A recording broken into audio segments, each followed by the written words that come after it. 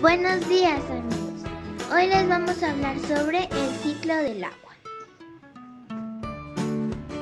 Ella es mi amiga Zoe. Ella es mi amiga Majo y yo, me, yo soy Isabela Peña. Vamos a ir a un sitio muy especial para hablar sobre este interesante tema. Ahora vamos a ir a un sitio muy especial coche banana, donde vamos a ver una mejor vista desde la montaña.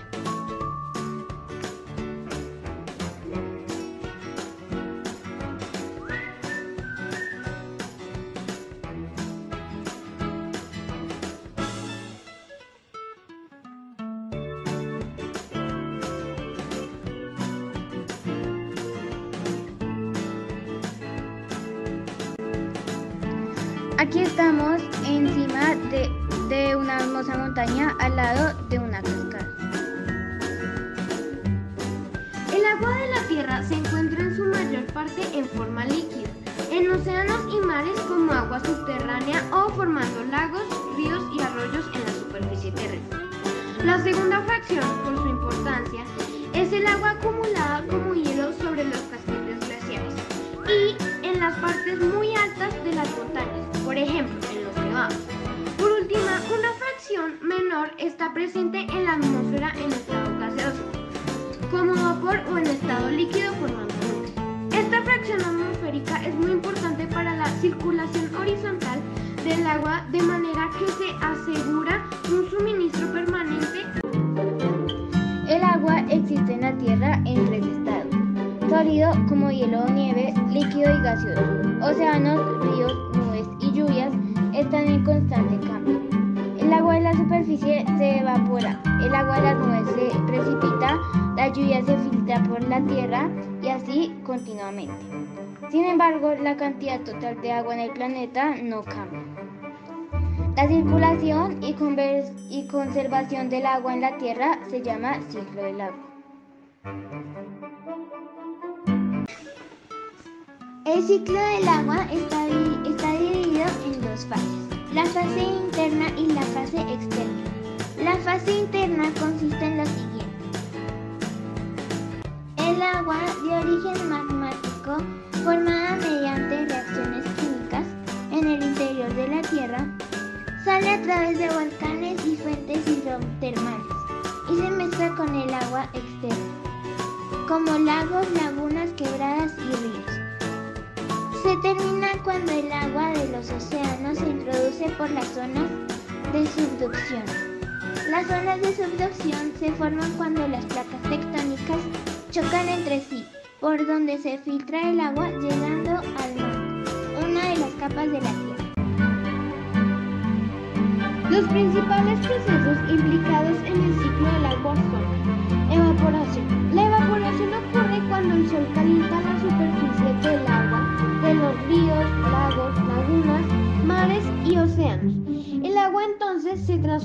vapor y sube a la atmósfera donde tendrá lugar la siguiente fase. La condensación. Durante esta fase, el vapor del agua que ha a la atmósfera, gracias a la vaporización, se, con, se concentra en gotas que forman nubes y neblina, formadas por gotas muy pequeñas.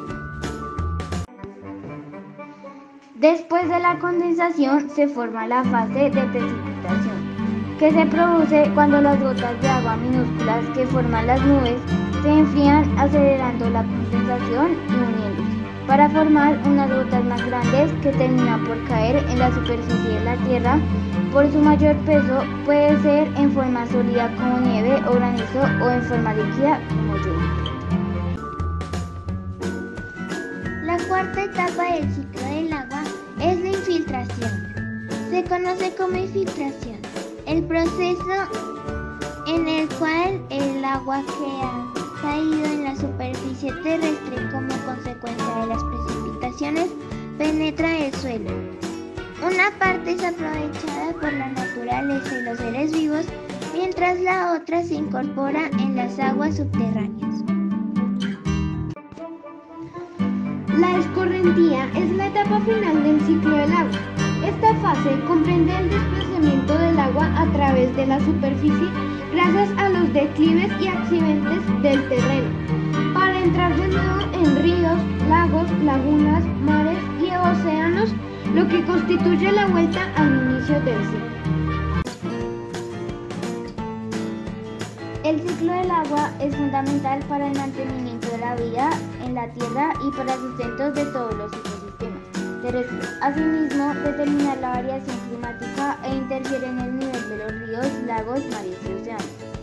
Los seres humanos tienen la responsabilidad de preservar el buen funcionamiento del ciclo del agua, ya que la acción del hombre ha llevado a cambios climáticos y contaminación en la biosfera, poniendo en riesgo la distribución del agua y la vida en la Tierra. En esta imagen podemos observar los diferentes procesos del ciclo del agua, comenzando por la evaporación, producida por el calentamiento de las aguas.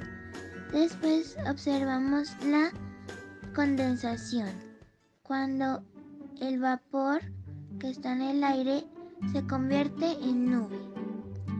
Después observamos la precipitación, es cuando dos nubes se juntan y forman gotas de agua más grandes. Después observamos la infiltración, que es cuando el agua entra a la tierra. Y por último está la escorrentía, que es cuando el agua de subterránea a lagos, lagunas y océanos, comenzando allí otra vez el proceso. Bueno amigos, eso es todo por hoy. Vamos a ver un experimento y después vamos a hacer un bebé Chao. Bueno amigos, para hacer nuestro experimento vamos a necesitar papel vinipel, un recipiente grande, un recipiente más pequeño, agua, una piedra, una tapa, un cordón y opcional tinte. El primer, el primer paso que vamos a hacer es verter el agua en el recipiente grande.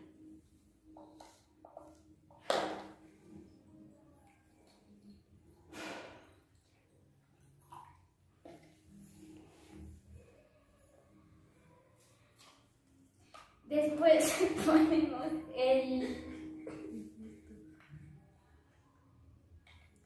el recipiente más pequeño y después ponemos la tapa.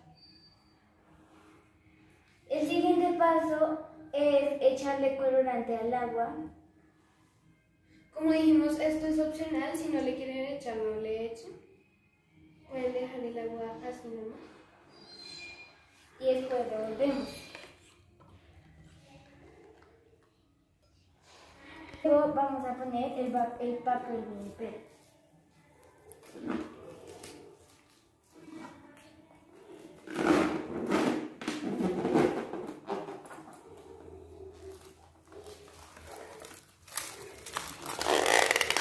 Para que no se suelte, lo vamos a sujetar con este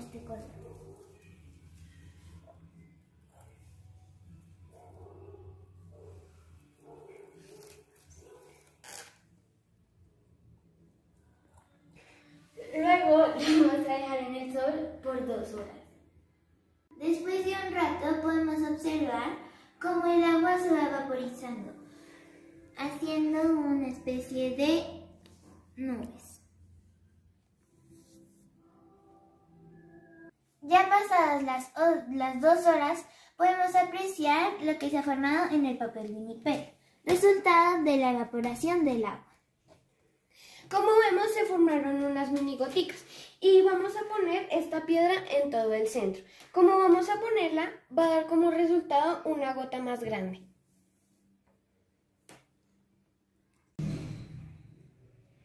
En un pequeño resumen, la mayor parte del agua está en estado líquido, como en lagos, ríos y océanos. En sólido como nieve o hielo están en los nevados y en glaciares. Y en, eh, en estado gaseoso están en una parte muy pequeña en la atmósfera.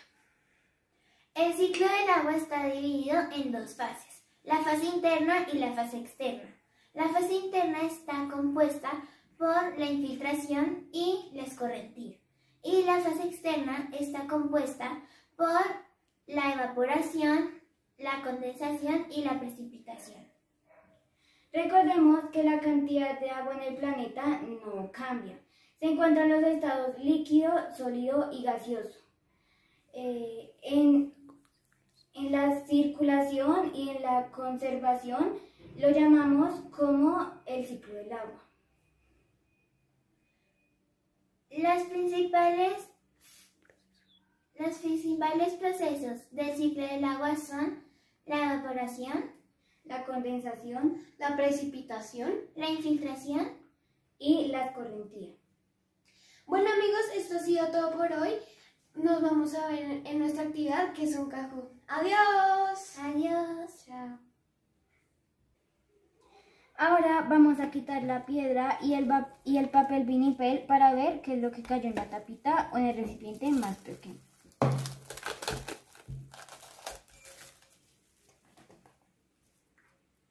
Ahora, como podemos ver, todas las goticas chiquitas se cayeron dentro de el, el recipiente más chiquito. Como vemos, se formó una gota más grande y eso es gracias a la precipitación. Bueno amigos, esperamos que les haya gustado mucho este experimento, que lo hayan disfrutado y, haber entendido un poco más sobre el ciclo del agua.